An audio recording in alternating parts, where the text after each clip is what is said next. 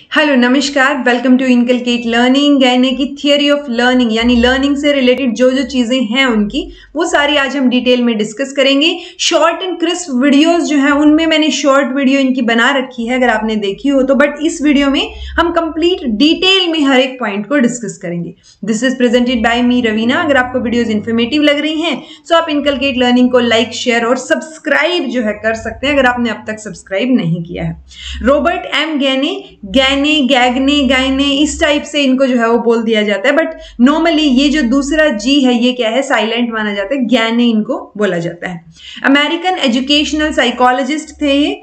Known for his work for किस लिए जाने जाते हैं? कंडीशंस ऑफ़ लर्निंग इनकी बुक है। ठीक है, उनका काम है इंस्ट्रक्शनल टेक्नोलॉजी फाउंडेशन तो ये दोनों उनके मेजर वर्क हैं, जिसमें से हम कंडीशंस ऑफ़ लर्निंग में कुछ चीज़ें पढ़ते हैं और जो इंस्ट्रक्शनल टेक्नोलॉजी फाउंडेशन है मतलब अगर आप नेट के एग्ज़ाम की बात करें तो आपको अगर आप लर्निंग थियरीज की बात कर रहे हैं तो वहाँ पे आपको ये कंडीशंस ऑफ़ लर्निंग से रिलेटेड चीज़ें पढ़नी पड़ेंगी।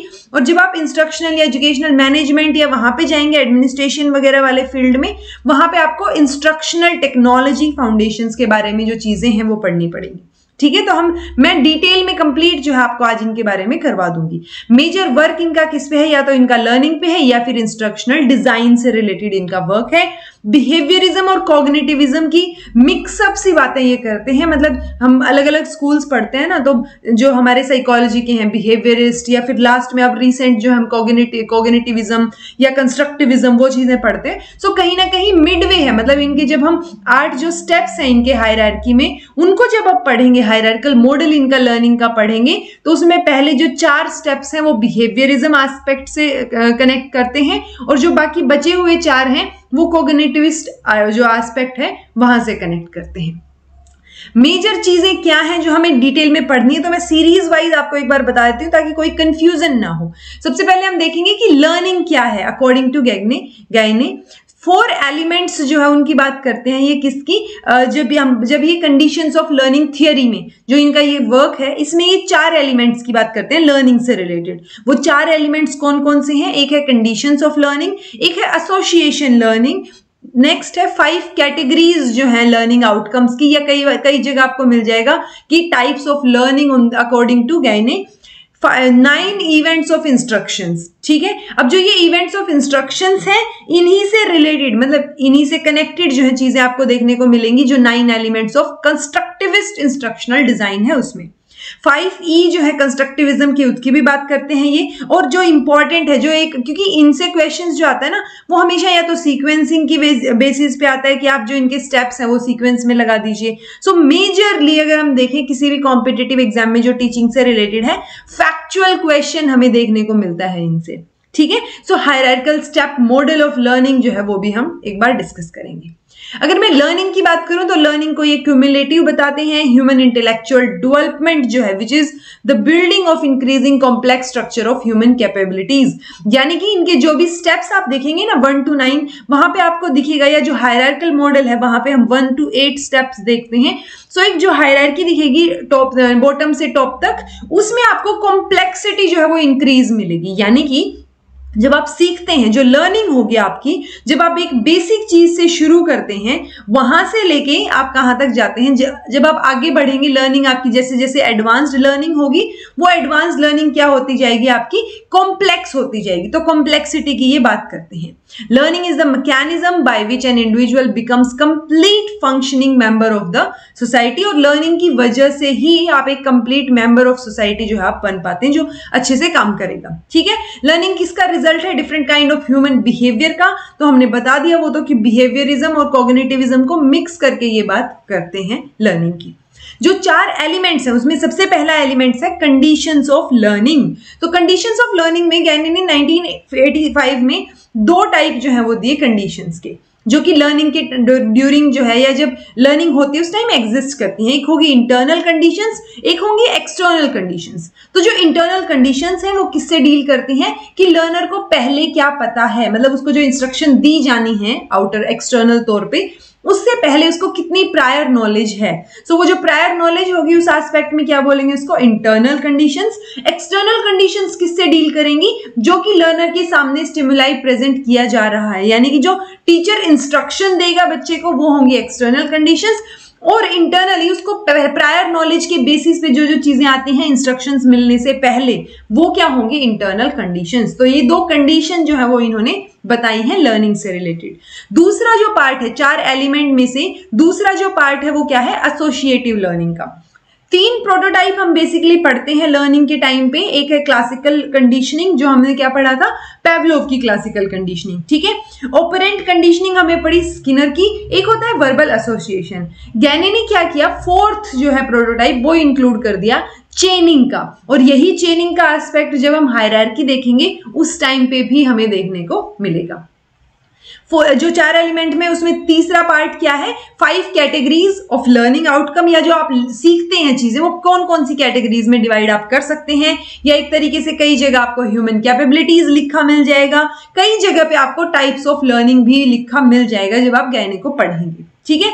सो ये पाँच हैं verbal information intellectual skills cognitive strategies motor skills और एटीट्यूड्स अब इनका मतलब क्या है? वर्बल अभी क्योंकि अलग अलग ये जो है हमारे टाइप्स ऑफ़ लर्निंग इनमें अलग अलग कंडीशंस होंगी। यानी कि डिफरेंट इंटरनल और एक्सटर्नल कंडीशंस रहेंगी हर एक टाइप ऑफ़ लर्निंग में। ठीक है? ऐसा नहीं होगा कि इंटरनल और एक्सटर्नल कंडीशंस नहीं है। तो वो अलग अलग वर्बल इन्फॉर्मेशन की जब हम बात करेंगे तो अलग कंडीशंस देखने को मिलेंगी, क्योंकि वर्बल मतलब आप ओरल इन्फॉर्मेशन दे रहे हैं ना। नहीं सॉरी वर्बल में ओरल और रिटर्न दोनों आते हैं। तो वर्बल की जब इंफॉर्मेशन की जब आप बात करेंगे, उस टाइम पे आप रिट्राइव करना चाहते हैं, जो ऑलरेडी स्टोर्ड इन्फॉर्मेशन है वो। तो इसके लिए इंटरनल कंडीशन क्या हो जाएँगी? Pre existing of organise knowledge जो एग्जिस्ट करती है आपकी ऑलरेडी जो आपको पता है, या जो स्ट्रैटेजीज जिससे आप नई इन्फॉर्मेशन जो है वो डालेंगे बच्चे में। तो वो क्या होंगे?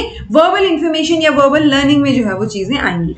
इंटेलेक्चुअल स्किल्स की अगर बात करें तो थोड़ा सा रिफ्लेक्टिव और थोड़ा डीप डाउन वाली चीज़ें स्किल्स की बात हो रही है यहाँ पे। तो जो मेंटल ऑपरेशन होंगे, जो किसी भी इंडिविजुअल को परमिट करेंगे क्या करने के लिए, जो कॉन्सेप्ट हैं एनवायरमेंट से रिलेटेड या आपके एनवायरमेंट के अकॉर्डिंग उनके लिए रिस्पॉन्ड करेंगे आप। जिस तरीके से। तो वो जो लर्निंग होगी कि आप रिस्पॉन्ड कर पाए, या डिस्क्रिमिनेट कर पाए, या जो कॉन्क्रीट और डिफाइंड कॉन्सेप्ट्स हैं, या रूल्स का यूज़ करके प्रॉब्लम सॉल्विंग का यूज़ करके तो वो सारी चीज़ें इंटेलेक्चुअल स्किल्स से रिलेटेड हैं। यानी कि जब लर्निंग होगी तो इंटेलेक्चुअल स्किल की जो आउटकम होगा, वो कब होगा? जब आप डीप डाउन चीज़ें कर रहे हैं, सीख रहे हैं। इसमें भी अगर हम इंटरनल कंडीशंस की बात करें तो आप रिकॉल करेंगे जो आपकी प्री रिक्विजिट स्किल्स हैं वो, और आप इंटरेक्ट करेंगे डिफरेंट डिफरेंट वेज में विद द न्यू लर्निंग तो नई नई लर्निंग जब आप सीखेंगे तो आप डिस्क्रिमिनेट कर पाएँगे चीज़ों को कि आपको कौन सी चीज़ पे कैसे रिएक्ट करना है और कैसे रिस्पॉन्ड करना है। नेक्स्ट होगा कोगनेटिव स्ट्रैटेजीज इंटरनल प्रोसेस होता है कोगनेटिव स्ट्रैटेजीज कौन प्लान करेगा? लर्नर्स बाय विच लर्नर्स जो है वो प्लान करते हैं कंट्रोल करते हैं मॉनिटर करते हैं जो खुद का थिंकिंग और लर्निंग प्रोसेस है उसको। तो जो थिंकिंग के लेवल पे, मैं हमेशा बोलती हूँ कोग्निटिव या संज्ञानात्मक की जब भी हम बात करेंगे तो वो थिंकिंग के लेवल की बात हो रही होगी। तो एक इंटरनल प्रोसेस है जो कि लर्नर्स जो है बाकी सारी चीज़ें करते हैं, चाहे प्लानिंग हो कंट्रोल हो मोनिटर हो, वो अपनी थिंकिंग को या लर्निंग को जब कंट्रोल करने की ट्राई करते हैं या मोनिटर करने की ट्राई करते हैं प्लान करते हैं तो वो सारी चीज़ें कोग्निटिव स्ट्रैटेजीज में आ जाएँगी। एटीट्यूड एटीट्यूड क्या होता है? एटीट्यूड एक इंटरनल स्टेट होती है किसी भी इंडिविजुअल की, ठीक है?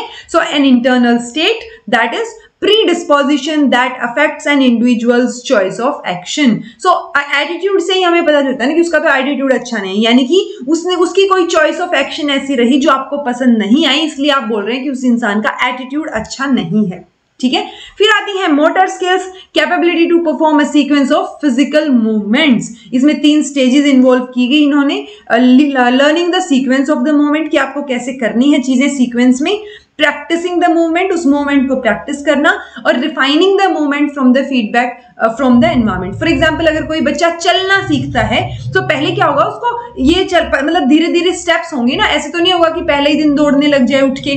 पहले वो धीरे धीरे क्रॉल करना सीखेगा, फिर उठना सीखेगा, खड़ा होकर थोड़ा थोड़ा चलना सीखेगा। तो वो एक सीक्वेंस है और वही चीज़ें जब वो प्रैक्टिस कर लेगा और आसपास के लोग जब उसको फीडबैक देंगे तो वो चीज़ें क्या हो जाएँगी? रिफाइन हो जाएगी, वो मूवमेंट जो है। सो so वो क्या होगी मोटर स्किल्स में आएगी, क्योंकि वो भी एक तरीके की लर्निंग है ना। जब आप एक सीक्वेंस ऑफ़ फ़िज़िकल मूवमेंट्स को जो है वो आप करने के काबिल हो कैपेबल हो। फिर जो फोर्थ पार्ट आता है फोर एलिमेंट्स जो हम फ्रेमवर्क की बात कर रहे हैं ना कंडीशंस ऑफ़ लर्निंग थियरी उसमें जो फोर्थ एलिमेंट है, वो क्या है? नाइन इवेंट्स या स्टेप्स ऑफ़ इंस्ट्रक्शन कि आप इंस्ट्रक्शन कैसे देंगे? सबसे पहले आप गेन अटेंशन अटेंशन गेन करना इन्फॉर्म करना तो ये क्या रहेंगे? नो स्टेप्स रहेंगे, इनको एक एक करके डिस्कस कर लेते हैं हम लोग। सबसे पहले आप अटेंशन गेन करेंगे, यानी कि जब आप, जब स्टूडेंट्स क्लास में पहुँचते हैं, उनकी अटेंशन ग्रैब करने के लिए तो टीचर की अलग अलग चीज़ें हो सकती हैं, जो मैंने आपको पहले भी कई बार बताई हैं। मैराथन्स कराई थी उस टाइम भी बताई थी। सो गेन अटेंशन मतलब कि आप जो है उनकी उनका इंटरेस्ट अराउज करना चाह रहे हैं वो जो सब्जेक्ट आप पढ़ाएँगे। तो आप क्या करना चाह रहे हैं कि उनकी अटेंशन ग्रैप करना चाह रहे हैं कि वो आपस में बात ना करें शोर ना करें उनका इंटरेस्ट जो है वो पढ़ाई में रहे। सो so, आप अटेंशन गेन करेंगे किसी भी चीज़ के लिए। फिर आप उनको ऑब्जेक्टिव्स के बारे में बताएँगे यानी informing the learners the objective कि किस लिए हो रहा है क्योंकि अगर पर्पज उनको पता होगा कि क्या चीज़ें करनी है क्यों करनी है। फॉर एग्ज़ाम्पल आपको क्या करना है कोई मोटिवेशनल uh, प्रोग्राम चलाना है या फिर आपको एक मुहिम चलानी है मान लो सफ़ाई की मुहिम चलानी है ठीक है? सो वो सफ़ाई की मुहिम आपने क्या किया? पहले तो उनको अटेंशन ग्रैब किया। अब आप वो वॉइस मॉड्यूलेशन से कर सकते हैं। कैसे भी कर सकते हैं। पहले आप अटेंशन ग्रैब करेंगे। वो अटेंशन ग्रैब करने के बाद आप उनको ऑब्जेक्टिव्स के बारे में बताएँगे कि हम ये मुहिम इसलिए शुरू कर रहे हैं कि आसपास बहुत बीमारियाँ फैल रही हैं। हमें सफ़ाई पे ध्यान रखना चाहिए। सो उनमें से क्या रहेगा? अब जो पर्पज है, वो पर्पज तो उनको पता चल गया ना? और एक्सपेक्टेड आउटकम भी उनको पता चल गया कि हमें क्या करना है, सबको जाके मोटिवेट करना है अवेयर करना है उन चीज़ों से रिलेटेड तो वो खुद भी इस चीज़ से जब उनको ऑब्जेक्टिव पता चल जाएगा इन्फॉर्म कर दिया जाएगा ऑब्जेक्टिव के बारे में तो वो थोड़ा सा क्या रहेंगे मोटिवेटेड रहेंगे कि हाँ भाई ये काम हमें करना है ठीक है? सो वो क्या रहेगा ऑब्जेक्टिव आपको फिर सेकंड नंबर पे उनको बताना है। ऑब्जेक्टिव बताने के बाद मान लो आप कोई टॉपिक पढ़ा रहे हैं तो आपने बता दिया कि आज हम ये पढ़ेंगे। सो so, उससे रिलेटेड आप क्या करेंगे पहले स्टिमुलाई स्टिमुलेट करेंगे कि वो प्रायर नॉलेज या प्रायर लर्निंग जो है उनकी वो क्या थी। यानी कि एक तरीके से क्या हो गया पीके टेस्टिंग मतलब आप उनको हेल्प कर रहे हैं उसमें प्रीवियस नॉलेज टेस्ट करके कि प्रायर लर्निंग उनकी कितनी है, वो रिकॉल कर पाए कि देखिए ये हमने पढ़ा था, ये इससे कनेक्टेड है। सो वो क्या करेंगे, आप रिकॉल करवाने के लिए स्टिमुलेट करेंगे, कोशिश करेंगे। प्रेजेंटिंग द स्टिमुलस इसके बाद जब आपको पता, उन, आपने याद करवा दिया कि पहले हमने ये पढ़ा था और अब उसी से कनेक्टेड हम ये पढ़ने वाले हैं, तब आप क्या करेंगे? जो आपका सब्जेक्ट मैटर है, जो आप ये पढ़ने वाले हैं, वो चीज़ जो पढ़नी है, उसको प्रेजेंट करेंगे, यानी प्रेजेंटिंग द स्टिमुलस तो जो रेलिवेंट स्टिमुलस है सब्जेक्ट मैटर से रिलेटेड आप उसको यहाँ पे प्रेजेंट करेंगे। फिर आप गाइडेंस लर्निंग गाइडेंस प्रोवाइड करेंगे। यानी कि इंस्ट्रक्टर जो है, वो जो अभी ये था ना कि ये पढ़ना है, जो हमने फिफ्थ में पढ़ा कि आपने सब्जेक्ट मैटर जो है रेलेवेंट स्टिमुलस जो है उनके सामने रखा, उसके बाद आप उसको मीनिंगफुल बनाने की कोशिश करेंगे। ठीक है? जो आप चीज़ करवाना चाह रहे हैं, उसको जितना पॉसिबल हो सके, उतना मीनिंगफुल बनाने की कोशिश करेंगे ताकि ज़्यादा से ज़्यादा बच्चे उसको समझ सकें। फिर आप उनको बोलेंगे एलिसिटिंग परफॉर्मेंस यानी कि लर्नर्स को बोला जाएगा कि जो चीज़ हमने आपको समझाई, वो एक बार बताओ क्या बताया आपको। तो वो डेमोन्स्ट्रेट जो है वो करवाएँ आप बच्चों से। तो लर्नर्स जो है उनको डेमोन्स्ट्रेट करने के लिए बोला जाता है, जो अभी अभी आपने जो है ऊपर वाली जगह पे सिखाया है, ऊपर वाले स्टेप में। ठीक है? तो जैसे ही वो डेमोन्स्ट्रेट करेंगे, उस टाइम पे आप क्या करेंगे? उनको फीडबैक प्रोवाइड करेंगे कि आपने ये चीज़ सही की, ये चीज़ गड़बड़ की तो वो यहाँ पे क्या रहेगा? फीडबैक प्रोवाइड करेंगे। देन आप परफॉर्मेंस को असेस करेंगे कि फीडबैक प्रोवाइड करने के बाद कि यहाँ पे क्या रहेगा? असेसमेंट का पार्ट रहेगा कि आप वेरीफाई करें कि लर्निंग कितनी हुई है। अब जितनी लर्निंग हुई है, उसको आप कैसे जो है रिटेंशन या ट्रांसफ़र जो है वो एनहेंस कर सकते हैं। यानी कि जितना जो आपने सिखाया है, वो कितने, वो याद रहे उनको, वो रिटेन करने की जो कैपेबिलिटी है, उसको हम क्या बोलेंगे यहाँ पे? रिटेंशन और उसको हमें क्या करना है? एनहेंस करना है कि जो जो चीज़ें हमने आपको सिखाई हैं, वो आप कितने टाइम तक रिटेंशन कर पाते हैं रिटेन कर पाते हैं और कब जो है नई सिचुएशन आए तो उसको अप्लाई कर पाते हैं। यानी ट्रांसफ़र ऑफ़ लर्निंग होगा या नहीं होगा। ठीक है? सो ट्रांसफ़र ऑफ़ लर्निंग मैं ऑलरेडी करवा चुकी हूँ, काफ़ी डिटेल में आपको एक अलग वीडियो मिल जाएगी। देन आते हैं nine elements of constructivist instructional design जो हमने अभी नाइन स्टेप्स ऑफ़ इंस्ट्रक्शंस पढ़े ना, पूरे के पूरे नाइन स्टेप्स वो कहीं ना कहीं इन चीज़ों से रिलेटेड है। मतलब वो नाइन स्टेप हमें करने हैं तो कहीं ना कहीं ये जो चीज़ें होंगी, ये क्या है? इंटरनल प्रोसेसेस हैं। मतलब इनकी हेल्प करके जैसे हमने पहला बोला था अटेंशन गेन करना ठीक है? गेनिंग द अटेंशन सो उसमें क्या रहेगा? रिसेप्शन मतलब आप जो है वॉइस मॉड्यूलेशन यूज़ करें जेस्टर्स यूज़ करें या कोई चीज़ शॉर्ट इंट्रोडक्टरी वीडियो दिखा दें शुरू में जिसकी वजह से बच्चों का ध्यान वहाँ हो जाएगा। सो so, ये को रिलेटेड है अगर आप देखेंगे तो। यानी जो अटेंशन गेन करना है वो इन तरीकों से इन चीज़ों से हो रहा है। ये प्रोसेस है और वो स्टेप क्या था? वो एक प्रोडक्ट था कि हमें ऐसा करना है। ठीक है? तो रिसेप्शन में क्या होगा कि आप वॉइस मॉड्यूलेशन करें, एक बार ज़ोर से बोल दें कि लिसन एवरीबडी तो वो क्या हुआ? आपने वॉइस को मॉड्यूलेट किया और उसके बाद आपने जब अटेंशन हो गई तो आप सेकेंड स्टेप पे मूव हो गए। ठीक है? देन आता है एक्सपेक्टेंसी जैसे लर्नर्स को आपने इन्फॉर्म किया ना ऑब्जेक्टिव के बारे में informing the learner about the objective तो आपने जब ऑब्जेक्ट किया तो ऑब्जेक्ट्स को ऑब्जेक्टिव्स को बताया उस टाइम पे लर्नर्स की एक एक्सपेक्टेंसी हो गई। मतलब उनका इंटरेस्ट जो है वो पता चल जाएगा हमें कि वो इंटरेस्ट जो है उनमें डेवलप होगा कि अच्छा ये करना है। सो so, वो क्या रहेगा यहाँ पे इंस्ट्रक्शनल डिज़ाइन में एक्सपेक्टेंसी देन रिट्राइव जो हम बोल रहे थे कि प्रायर नॉलेज के बारे में हमें बताना है, वो क्या हो गया? रिट्राइवल जब आप स्टिमुलेशन मतलब जो आप स्टिमुलेट कर रहे हैं प्रायर नॉलेज को रिकॉल करने के लिए। वो थर्ड स्टेप वहाँ था, यहाँ पे रिट्राइवल बोल दिया।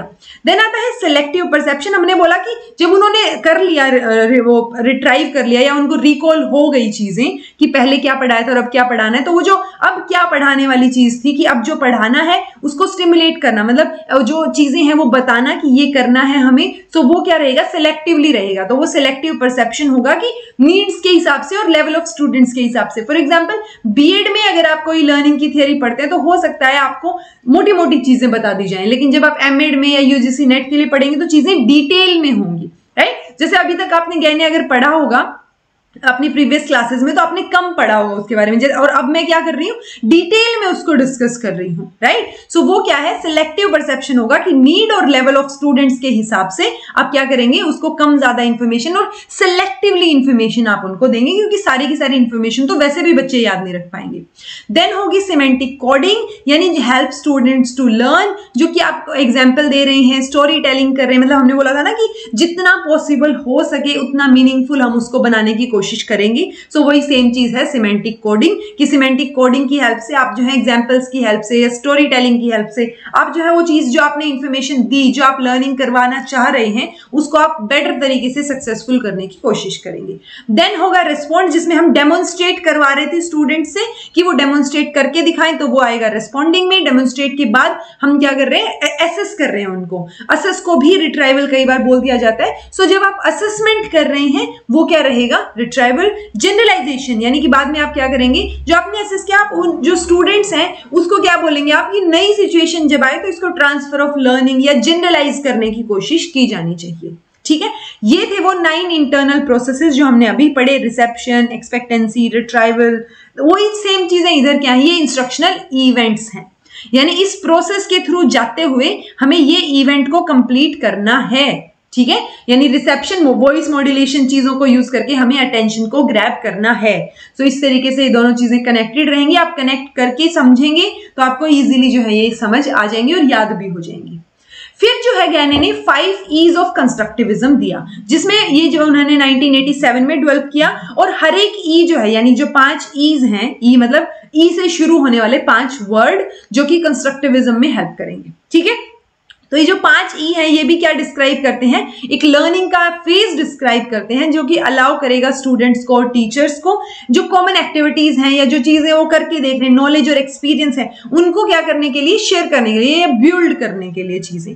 कैसे आप करेंगे वो पाँच ई e कौन कौन से हैं? Engage explore explain elaborate and evaluate तो ये पाँच चीज़ें आप याद रखेंगे। सबसे पहले कोई भी चीज़ जब टीचर पढ़ाता है तो बच्चे को एंगेज करने की कोशिश करेगा। यानी कि जो पास्ट में चीज़ें थी प्रायर लर्निंग थी उसको कनेक्ट करने की कोशिश करेगा। सो so, ओवरऑल बात क्या है यहाँ पे कि हम एंगेजिंग करना चाह रहे हैं चीज़ों को।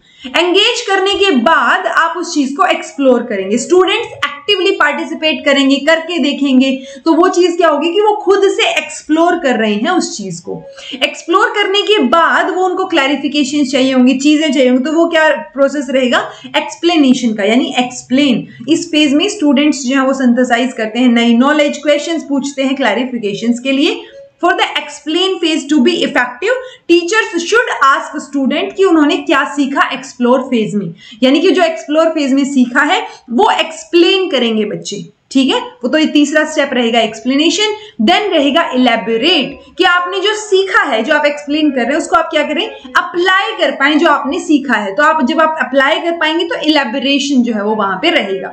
सो so, टीचर्स जो है इसमें स्टूडेंट्स को बोल सकते हैं कि वो प्रेजेंटेशन बनाएँ या एडिशनल इन्वेस्टिगेशन करें। जैसे बोल देते हैं ना टीचर्स की अच्छा ये ठीक है आप थोड़ा सा इसको जो है ये वाली बुक से भी पढ़ लीजिएगा एक्स्ट्रा सो बेसिकली इलेबोरेट का मतलब है यहाँ पे पर्पज क्या है? एक डीपर अंडरस्टैंडिंग जो है वो करनी है हमें बिफोर इवेल्युएशन और बिफोर इवेल्युएशन मतलब अगला स्टेप तो इवेल्युएशन का ही हो गया, जहाँ पे टीचर्स जो है ऑब्ज़र्व करेंगे स्टूडेंट्स को चेक करेंगे कि वो कॉन्सेप्ट से कंप्लीटली फेमिलियर हुए, नहीं हुए, कितना उनको समझ आया। तो यहाँ पे जो है इवेल्युएशन का असेसमेंट का प्रोसेस जो है वो यहाँ पे रहेगा। लास्ट चीज़ आती है हायरार्कल स्टेप मॉडल और यहीं से क्वेश्चंस जो है मेजरली पूछे जाते हैं किसी भी कॉम्पिटेटिव एग्ज़ाम में और मेजरली यही चीज़ दी जाती है जब बीएड एमएड का लेवल आता है उस टाइम पे हायरार्कल स्टेप मॉडल ही पढ़ाया जाता है। सो so, ये स्टेप्स हैं एक से लेके आठ तक या फिर इसको इस तरीके से भी दिखा दिया जाता है कि सिग्नल लर्निंग से लेके प्रॉब्लम सॉल्विंग तक। स्टेप्स को सीक्वेंसाइज करना आ जाता है एग्ज़ाम में कि आप इनको सीक्वेंस में लगाइए या फिर किसी तरीके से घुमा फिरा के ये सीक्वेंस आपको याद रखनी है ताकि आप क्वेश्चन जो है किसी भी तरीके से पूछा गया आप आंसर कर पाए। ठीक है जी? सिग्नल लर्निंग से फिर एस आर एसोसिएशन यानी कि बच्चा जो है वो यहाँ से, बिल्कुल बेसिक से कैसे सीखते सीखते लास्ट में प्रॉब्लम सॉल्विंग पे पहुंचेगा? वो चीज़ बताई गई है। पहले जो चार स्टेप होंगे, यानी signal learning S R learning stimulus response chaining chaining को जो है साइकोमोटर कनेक्शन लर्निंग भी बोल दिया जाता है बहुत बार। देन वर्बल एसोसिएशन सो ये चार स्टेप्स बिहेवियरल एस्पेक्ट से कनेक्टेड हैं और ऊपर के चार स्टेप्स जो है वो कॉग्निटिव एस्पेक्ट से रिलेटेड हैं। तो ये मिला के आठ स्टेप्स हमें याद रखने हैं। अब एक बार इन स्टेप्स को और डिटेल में पढ़ लेते हैं। पहला है सिग्नल लर्निंग जैसे पैवलोव के डॉग का एग्जांपल हमने दिया था, जिसमें पैवलोव ने जो पैवलोव का डॉग क्या कर रहा था, जैसे ही बेल बज रही थी, वो स्टिमुलस आ रहा था, यानी वो जो, वो रिस्पॉन्ड आ रहा था। तो वो सिग्नल लर्निंग मतलब कि जैसे ही उसको सिग्नल मिला, उसने रिस्पॉन्ड किया। ठीक है? So we we learn to make generalised response to a signal और स्टिमुलस सो कोई भी स्टिमुलस या सिग्नल आपको मिलेगा तो आप एक रिस्पॉन्ड कैसे करेंगे? यानी एक जनरलाइज रिस्पॉन्स हो गया ना कि जैसे ही बेल बजेगी सलाइवा क्रिएट हो रहा था। तो वो क्या था? सिग्नल लर्निंग देन आता है stimulus response learning S R जो मैंने आपको थॉन्डाइक में पढ़ाया था। यानी कि जब आप स्टिमुलेट करते हैं मतलब इसमें क्या हो जाएगा? डिस्क्रिमिनेटेड स्टिमुलस के प्रति आप रिस्पॉन्ड कर रहे हैं। यहाँ पे क्या था कि आप जनरलाइज कर रहे हैं कि आपको अच्छा बेल बजी और वो चीज़ हुई। तो वो सिग्नल लर्निंग में क्या हुआ कि कोई भी सिग्नल मिला आपको, आपने रिस्पॉन्ड किया। लेकिन स्टिमुलस रिस्पॉन्स लर्निंग में आप डिस्क्रिमिनेटेड स्टिमुलस के ऊपर एक सर्टेन रिस्पॉन्स जो है वो यहाँ पे देंगे। साइकोमोटर कनेक्शन लर्निंग या चेनिंग जो इन्होंने बोला, ये क्या है कंपेयर मतलब वन टू एट जब हम जाएँगे सो वो एडवांस्ड चीज़ें बढ़ती जाएँगी। यानी कॉम्प्लेक्स होगी। अगर मैं बोलूँ स्टेप टू तो वो स्टेप टू स्टेप वन से एडवांस्ड रहेगा। I hope you are getting it समझ नहीं आए तो कमेंट करके पूछ लीजिएगा। तो जो साइकोमोटर कनेक्शन है, या जो चेनिंग का प्रोसेस है, इसमें हम क्या करेंगे? अभी सेकंड स्टेप में हमने पढ़ा एस आर कनेक्शन ना तो अब एक से ज़्यादा एस आर कनेक्शन यहाँ पे आपको देखने को मिलेंगे। जब हम एक से ज़्यादा चीज़ों को, जो स्टिमुलस है, उनको लिंक करेंगे और देखेंगे कि कैसे रिस्पॉन्ड करना है। तो इसमें हम लिंकिंग करते हैं। एक से ज़्यादा एस आर जो स्टिमुलस रिस्पॉन्स है, वो आपको यहाँ देखने को मिलेंगे। और वर्बल एसोसिएशन में क्या हो जाएगा? जो यहाँ पे हमने चीज़ें की हैं मतलब जो हमने कनेक्ट की हैं चीज़ें, वो यहाँ पे लर्नर क्या कर रहा है? Learner is made to emit the chained responses तो आप वर्बली वो चीज़ें बता रहे हैं कि आप कैसे जो है उससे रिलेट मतलब उससे एसोसिएट कर रहे हैं। ठीक है? और जब वर्बल एसोसिएशन की बात आ गई तो language skill development of language skill जो है वो इसमें थोड़ा सा इंपॉर्टेंट पार्ट प्ले करता है।